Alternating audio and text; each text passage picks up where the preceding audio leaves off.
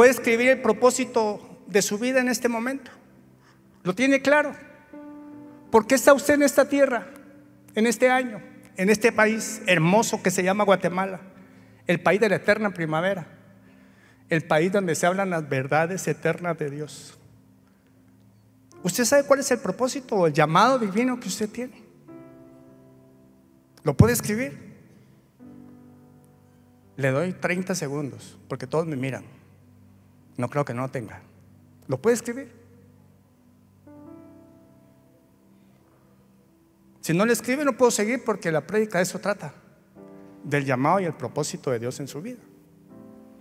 Porque le quiero animar, le quiero compartir de la historia de Jacob. Que este muchacho le dieron una palabra y por tiempo se la va a resumir, pero lea la historia de Génesis 27 hasta Génesis 37, donde empieza la historia de José, su hijo. Que bueno, algunos que son de teléfono están escribiendo el propósito, el llamado de Dios en sus vidas. Buenísimo. Felicito.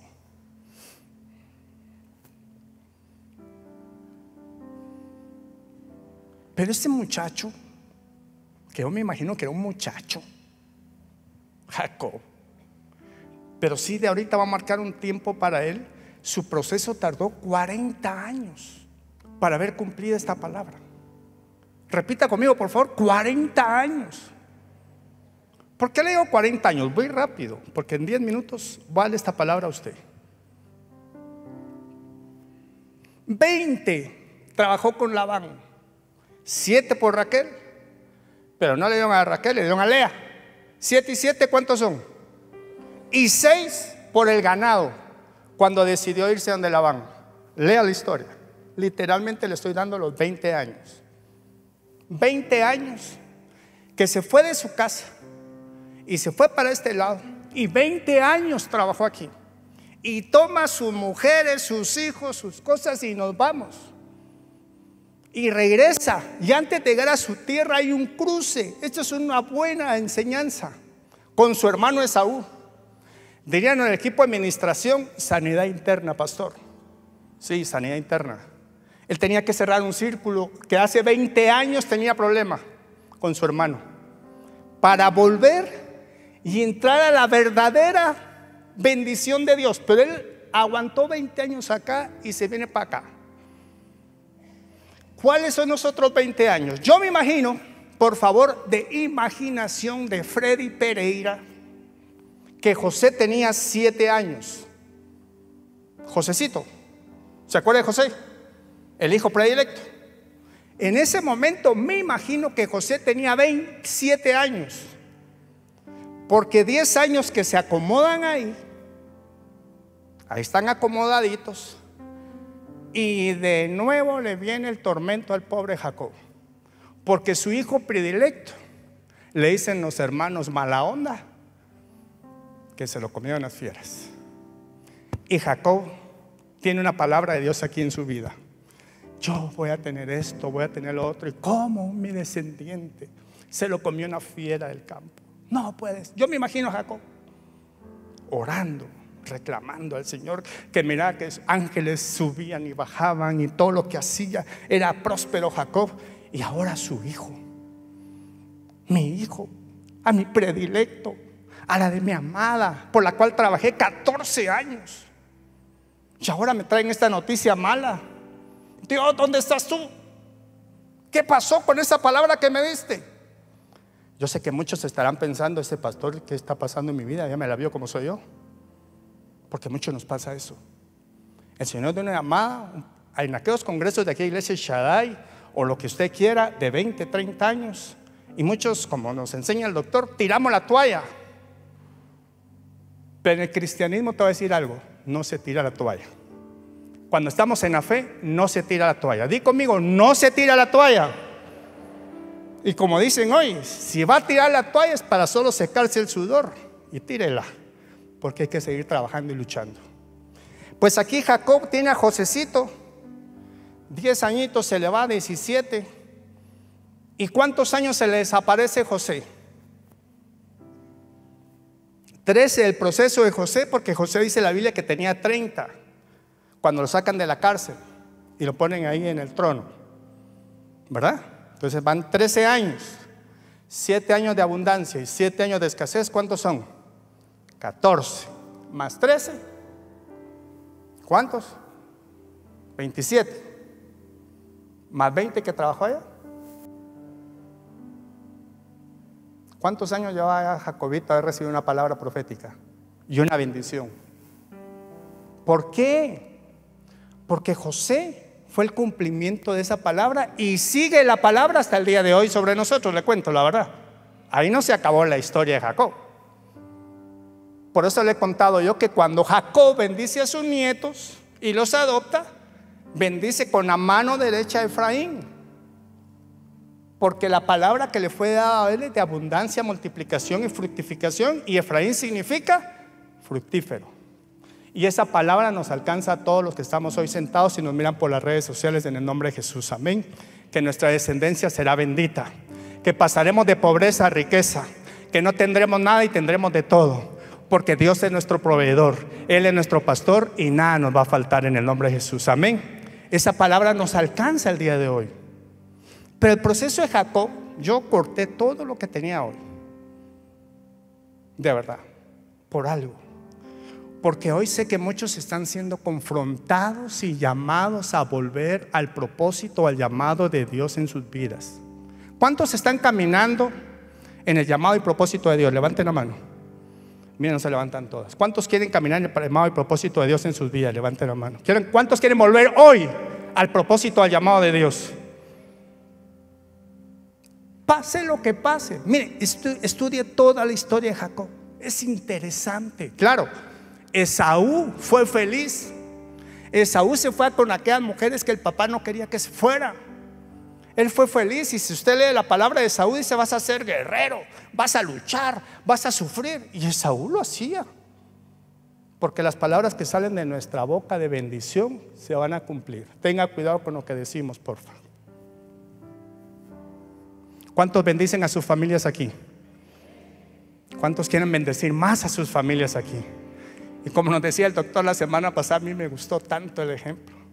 No mira, eh, no, mírese en el espejo y bendígase. Yo me bendigo todos los días, hermano. Señor, sé que no tengo pelo, pero manténme joven, por favor, le digo. Ayúdame a hacer ejercicio, a cuidar mi cuerpo, a no comer comida chatarra. Señor, ayúdame. Y me miro al espejo y me declaro bendición. Porque tengo en mi boca palabra de bendición. Voltéese con alguien, déle una palabra de bendición. Voltéese, dígale, te bendigo en el nombre de Jesús. Te bendigo. Inaugure palabras de bendición aquí en casa de papá. Estamos en la presencia del Señor. Bendígalo. Si usted está peleando con su esposa, vení mamita, pues te bendigo. Pero no peleemos. No seamos como los del mundo que viven peleando. Hagamos las cosas buenas. Busquemos a Dios todos los días de nuestra vida. Si usted está peleando con su hijo, va y búsquelo.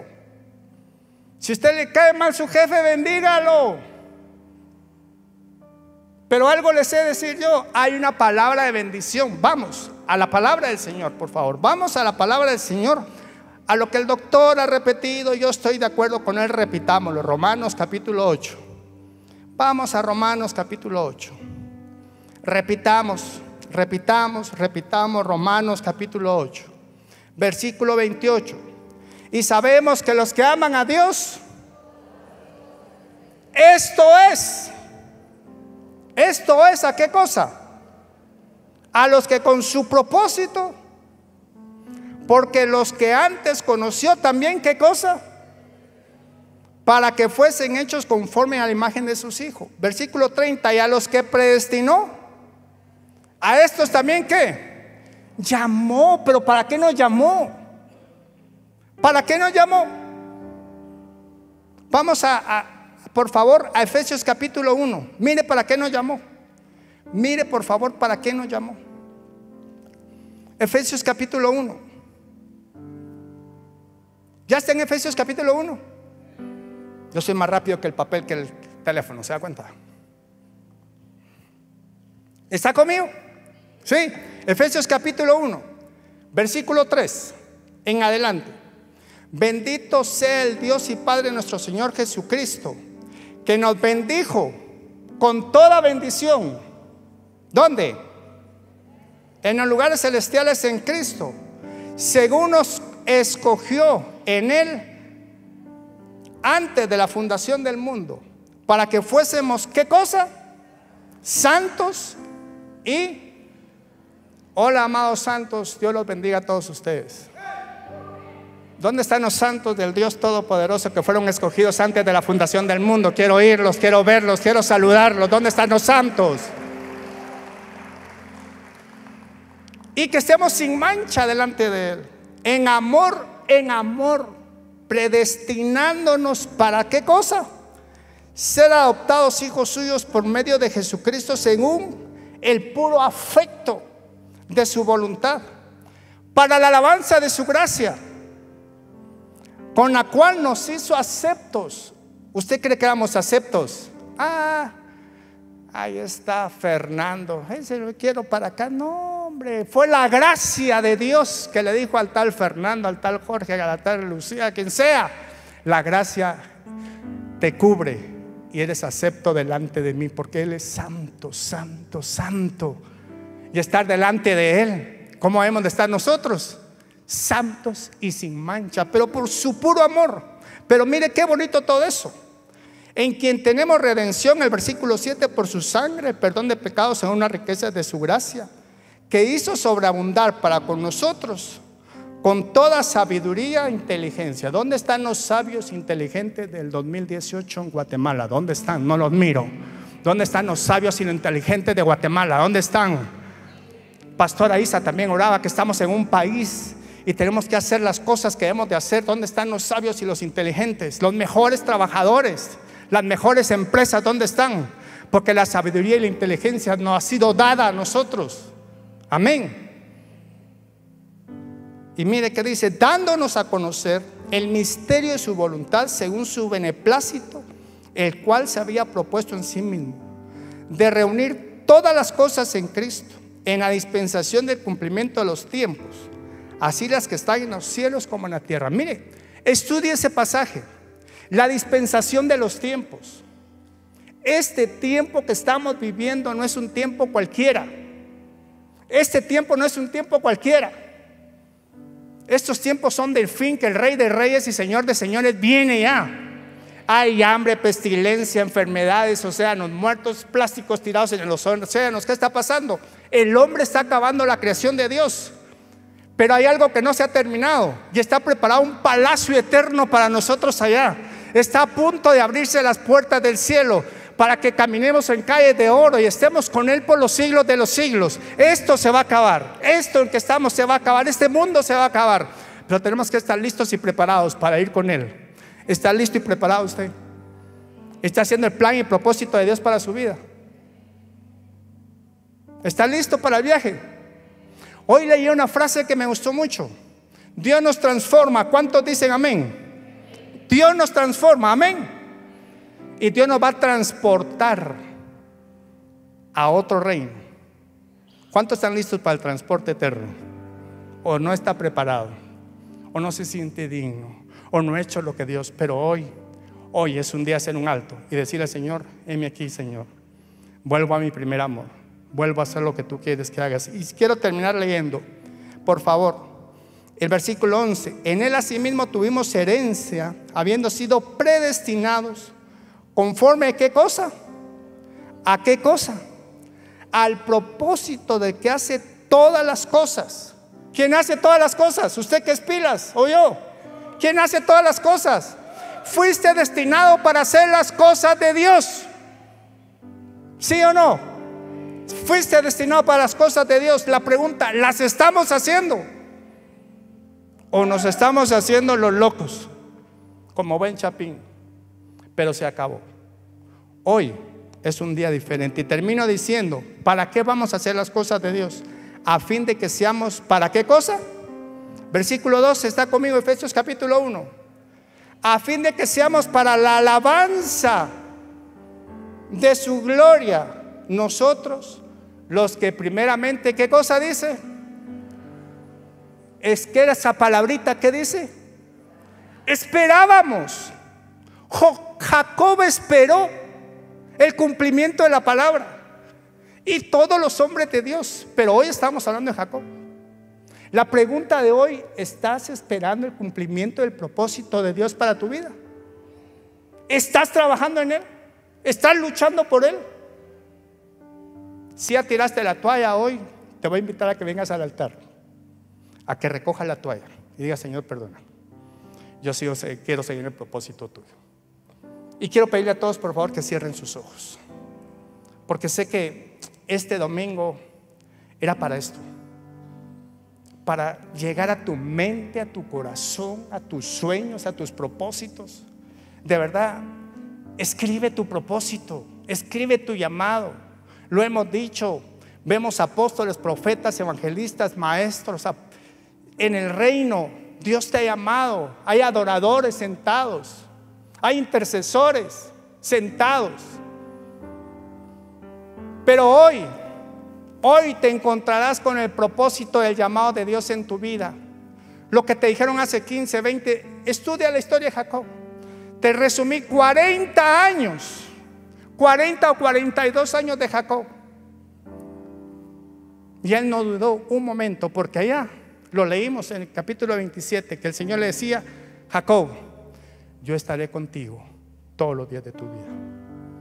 Y hoy el Señor nos recuerda a nosotros que estará con nosotros todos los días de nuestra vida. Estés pasando cosas buenas, estés pasando cosas malas, estés sin esto, estés con otro, yo te vengo a decir hoy en el nombre de Jesús, actívate, rejuvenétese, que el rejuvenecimiento del Espíritu Santo entre a tu vida y que el llamado y el propósito de Dios lo veas cumplir. Hay un supremo llamado, hay un llamamiento para cada uno de nosotros, pero qué bueno que lo haya y esté escrito. La cosa es que lo hagamos